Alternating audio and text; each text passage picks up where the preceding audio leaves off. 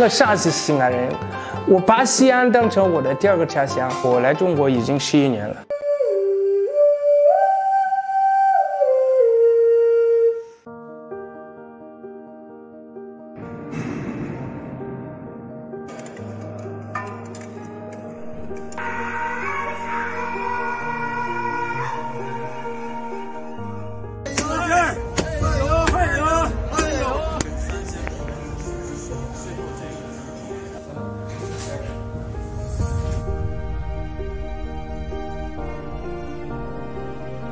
我为什么留了呢？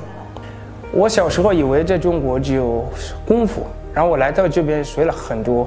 中国文化不太轻声，很多很大，不管在音乐方面呀，不管在美食方面呀，不管在服装，还是在呃有很多有很多很多。中国文化像一杯大海水，我只喝了一杯，还有很多，但是我喝的那一杯呢，我想分享。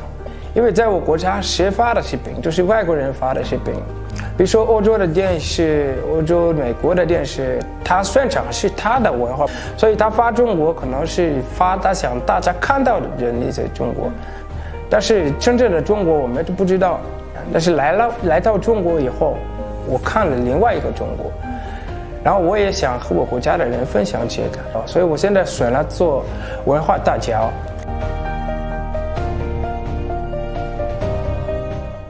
有时候给我的妹妹打电话，她说：“哎呀，大哥，你老说这个什么泡馍，我也要吃那个泡馍泡馍。”这是大概是慢慢了解这些。